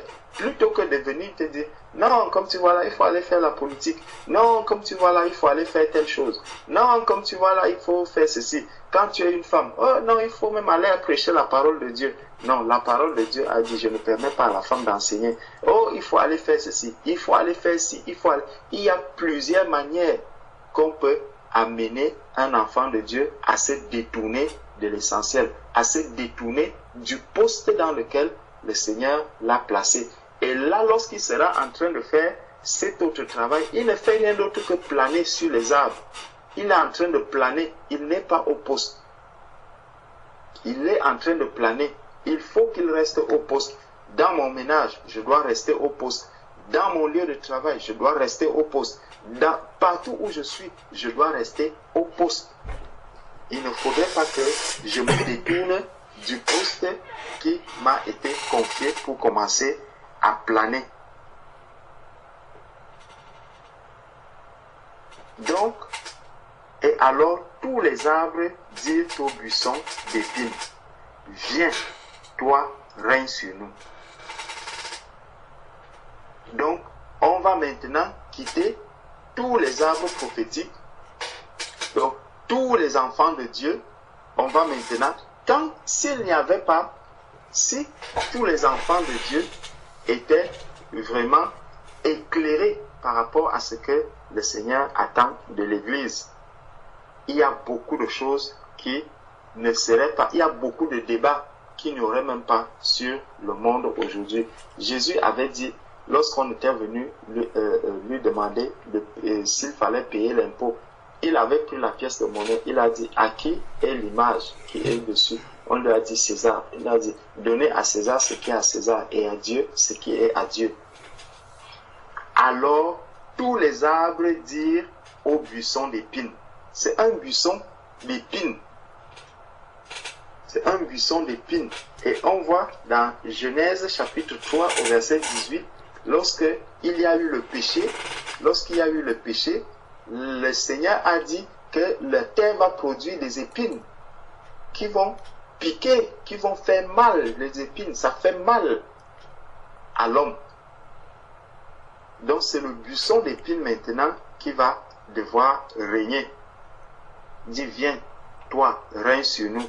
Et le buisson d'épines répondit aux arbres, si c'est de bonne foi que vous voulez moindre pour votre roi, venez, réfugiez-vous sous mon ombrage. Sinon, un feu sortira du buisson d'épines et dévorera les cèdres du Liban. C'est pour ça que la paix est difficile à retrouver dans ce monde parce que le buisson d'épines est en train de travailler. Le buisson d'épines. Maintenant, est-ce de bonne foi et avec intégrité que vous avez agi en proclamant roi Abimelech? Avez-vous Avez-vous eu de la bienveillance pour Jérubal et sa maison L'avez-vous traité selon les services qu'il a rendus? On voit comment est-ce que Abimelech a fait pour devenir roi. On va agir en cachette, on va agir dans le, en sourdine. Ce qui est caché va être révélé. Abimelech a utilisé la ruse pour arriver à la royauté. Il a utilisé des moyens tordus pour arriver à devenir roi. Il a utilisé le sentiment. Il est allé voir sa famille maternelle pour leur dire, ah, vous savez, je suis votre fils, je suis votre frère, je suis des vôtres. nous avons le même, la même chair, le même os. Donc, je dois être roi. Je dois appeler, et je suis appelé à régner. Maintenant donc, le Seigneur vient donc leur demander par la bouche de Jotam que est-ce que vraiment vous avez été sincère lorsque vous avez fait ce choix? Est-ce qu'il n'y a pas eu corruption? Est-ce qu'il n'y a pas eu un compromis? L'avez-vous traité selon les services qu'il a rendus? Car mon Père a combattu pour vous, il a exposé sa vie et il vous a délivré de la main de Madian, et vous, vous êtes levé contre la maison de mon père, vous avez tué ses fils. Vous voyez, vous avez tué ses fils, 70 hommes sur une même pierre, et vous avez proclamé roi sur les habitants de Sichem, Abimelech, fils de sa servante, parce qu'il eut votre frère. Si c'est de bonne foi et avec intégrité, qu'en ce jour vous avez agi avec Jéribal et sa maison, eh bien, qu'Abimelech fasse votre joie et que vous fassiez aussi la sienne. Sinon, qu'un feu sorte d'Abimelech et dévore les habitants de Sichem et la maison de Mio et de Mio et dévore Abimelech. Jotam se retira et prit la fuite et il s'en alla à Béer et il demeura loin d'Abimelech, son frère.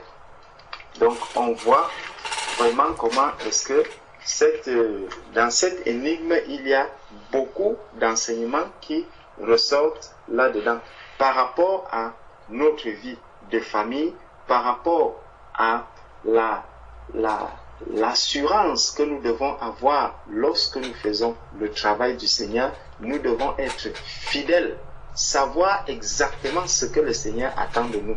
Parce que quand on voit les différents arbres prophétiques qui sont là, tels que les arbres sont en train de parler, chaque arbre connaît le travail qu'il a à faire. Chaque arbre, il connaît bien le travail qu'il a à faire.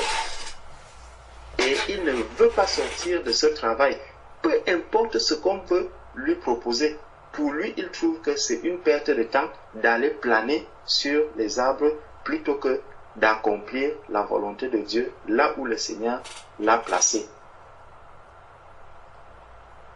Sans oublier tous les coups bas qui vont arriver donc pour que l'arbre d'épines puisse se placer là pour régner. Donc ça nous montre encore la différence qu'il y a entre les choses spirituelles et les choses, le monde politique, le monde de, de la royauté. Quand les enfants de Dieu commencent à courir après ces choses, c'est qu'il y a un problème. Aujourd'hui, on voit des partis politiques religieux. Tout ça, ça n'a pas de sens. Partis politiques religieux, ça n'a pas de sens. Ce n'est pas à cela que le Seigneur nous a appelés quand on est un enfant de Dieu, on doit parler maintenant pour le royaume. On doit parler pour apporter la repentance, pour présenter la repentance à toutes ces personnes, pour vivre dans la vérité, pour vivre dans la lumière, pour montrer la direction de Dieu au monde, sur la terre. Non plus d'aller recommencer à faire le travail des politiciens, non plus aller recommencer à faire le travail qui ne nous revient pas, qui ne nous a pas été confié. Ce n'est pas à cela que le Seigneur a appelé ses enfants. Donc, ma soeur, voilà ce que je pouvais dire par rapport à cette énigme. Amen. Amen. Merci infiniment. Amen. Gloire à Dieu. Amen.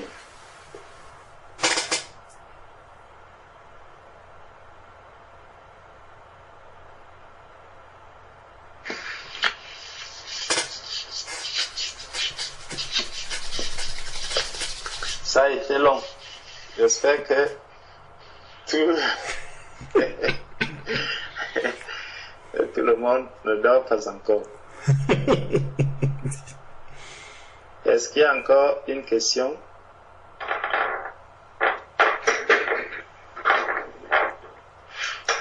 Amen. Amen. C'est pas une question, mais c'est juste euh, une remarque que j'ai faite quand tu as euh, quand tu as fait un retour sur Joseph et ses frères et parlant de, de, de la volonté de Dieu dans le mariage, euh, j'ai remarqué que Joseph, en fait, était euh, haï de ses frères euh, des, des servantes, Bilal et je sais plus.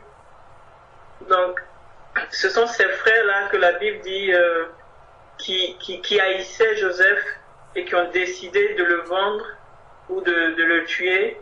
Euh. En fait, j'ai fait cette remarque-là pour dire que c'est ça.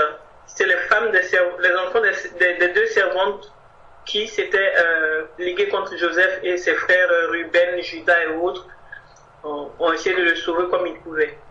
Amen. Amen, amen.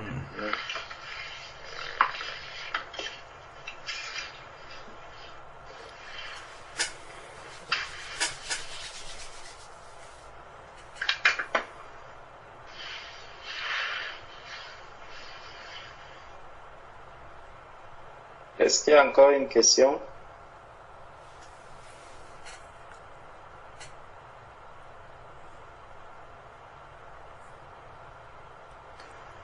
Bonjour, c'est Lindsay.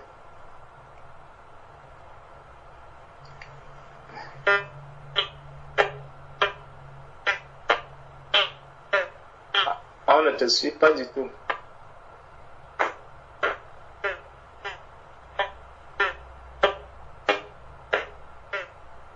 Ne te suit pas. Que Dieu te bénisse, ma soeur.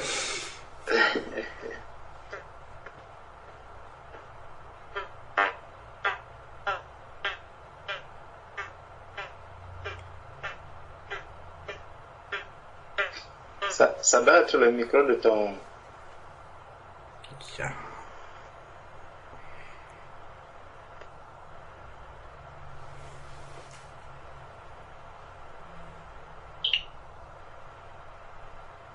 Allô Voilà. Ah, c'est bon. Ah, Je vais que je ferme, c'est pour ça. Euh, soyez bénis. Amen. Amen. Amen.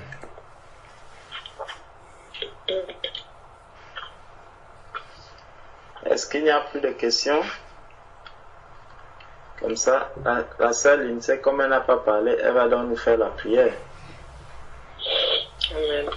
Mais juste avant de se laisser, parce que j'avais dit au Seigneur j'allais le faire, mais ça va pas être long, c'est juste que je vais rendre grâce à Dieu euh, pour plusieurs choses qu'il a fait et pour être reconnaissante aussi. Euh, je voulais juste rendre grâce à Dieu pour euh, vraiment cette grande famille dans la chair qu'il m'a donnée. Parce que même si on voit pas le salut, comme on dit, complet dans la vie de tout et chacun, je vois vraiment comment le Seigneur euh, préserve ma famille de, beaucoup de mal. Et je voulais rendre grâce à Dieu pour ça. Et je suis allée voir mon autre frère euh, que j'ai dit qui avait un problème d'handicap. Et mon grand frère Emmanuel, c'est quelqu'un qui m'a jamais même pris dans les bras ou touché ou quoi que ce soit. C'était juste, on était assis sur une table, l'autre côté de la table et on se parlait comme ça. Et euh, j'avais à cœur, quand je lui ai amené quelque chose, je dis ok, on va prier.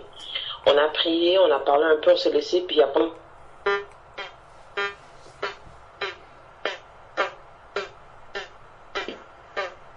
Ça a coupé.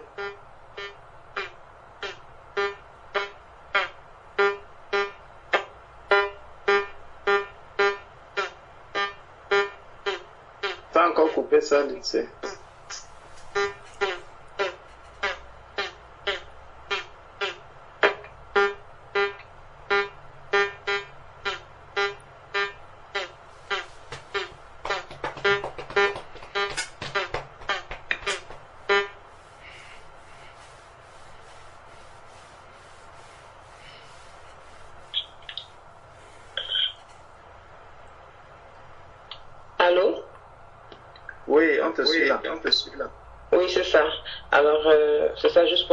comment le Seigneur a, préservé euh, mes deux frères euh, jusqu'à ce jour et toute ma famille, mon père et tout ça.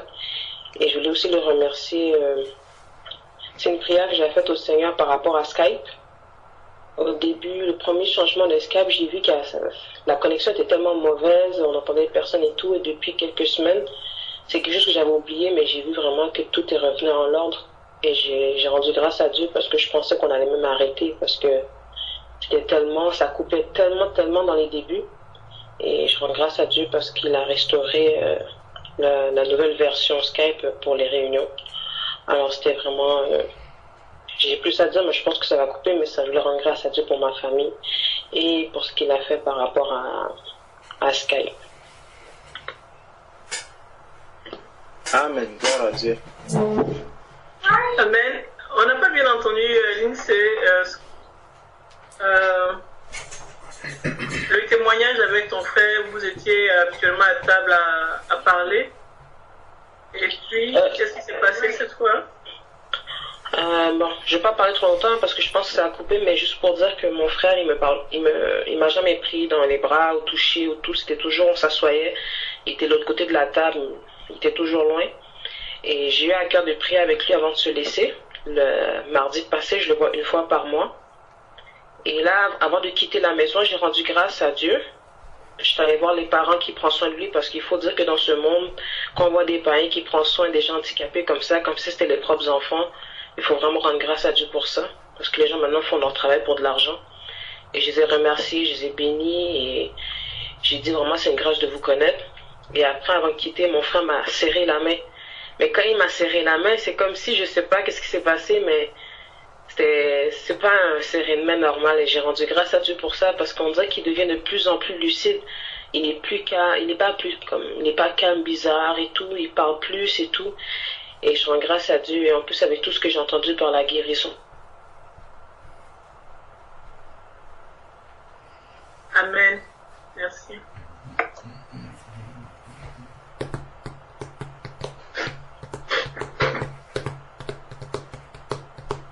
Ça a encore coupé Lindsay.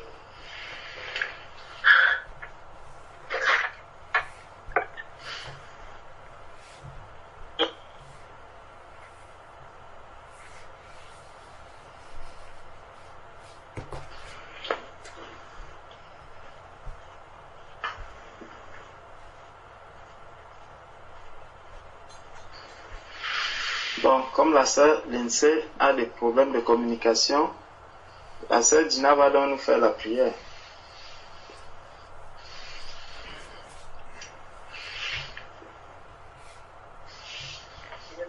Allô? Oui, ma sœur. Amen. Amen. Mais a- avant, je voulais, euh, avant la prière, je voulais juste rappeler au frère euh, Alain Patrick. Est-ce que tu as reçu mon message, euh, frère Alain Patrick J'avais demandé, euh, j'avais essayé de te joindre. Oui, oui, j'ai- bien reçu ton message. Et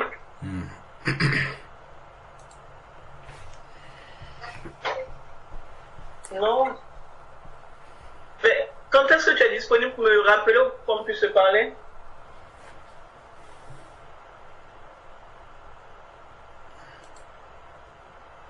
Alors, dès, dès que le Seigneur le permettra, avec le décalage horaire, parce que ça, ici, ça va faire tard le soir, quoi. Il faudra que je, que je puisse me, comment dire, appeler, appeler tard un soir. Donc, euh, quand le Seigneur le permettra, un week-end, c'est mieux quand même. Parce qu'en semaine, c'est un peu difficile. D'accord, donc euh, j'attends ton appel. Ok, Merci. ça marche. Hmm.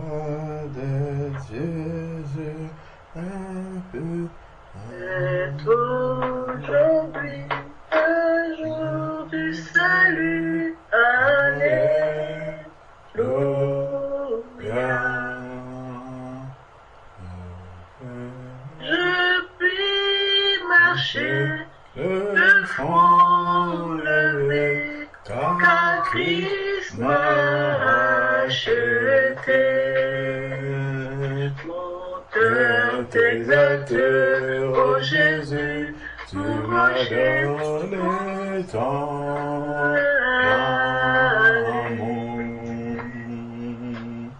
éternel, je veux te remercier, Père,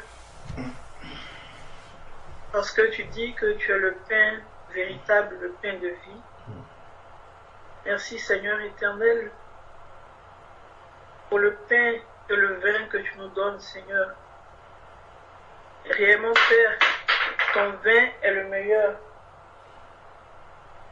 Ton pain est le véritable. Nous avons mangé de ce pain, Père, et nous en redemandons encore. Merci, Père, pour les vaisselles, la vaisselle que tu utilises, les frères, que tu nous as envoyés, que tu nous as donnés, éternel. Merci, Père, parce que tu nous fais grandir dans ta parole. Tu guides nos pas éternels. Merci pour tous ceux-là, Père, ont été conviés à ce repas. Car tu dis dans ta parole que tu sanctifies les conviés. Merci éternel mon Dieu parce que nous avons été sanctifiés, purifiés par ta parole ce soir. Béni soit ton nom éternel pour l'autorité, le pouvoir que tu nous as donné en ton nom sur toute la puissance de l'ennemi. Merci éternel mon Dieu parce que tu nous fais comprendre, Seigneur, que chaque enfant, chacun de tes enfants a une valeur, Seigneur, a un don de toi, éternel, afin de te servir, éternel, et non de nous laisser distraire par les choses qui nous entourent, mais tout ce que tu nous as donné, éternel, c'est pour le mettre à ton service, à ta gloire. Béni sois-tu, Père, pour l'énigme que tu m'as donnée. Merci, éternel mon Dieu Tout-Puissant, pour la sagesse profonde que tu donnes à tes serviteurs. Que ton nom soit béni, éternel, et que toute la gloire te soit rendue pour chacun des frères et sœurs qui étaient ici et, qui n'ont pas, et ceux qui n'ont pas pu assister également. Au nom de Jésus-Christ de Nazareth, je prie. Amen. Amen. Amen. Amen. Gloire à Dieu. Amen. Amen. Soyez bénis. Amen. Amen. Bonne nuit à ceux qui vont dormir. Bonne journée pour ceux qui sont déjà le matin, comme ici.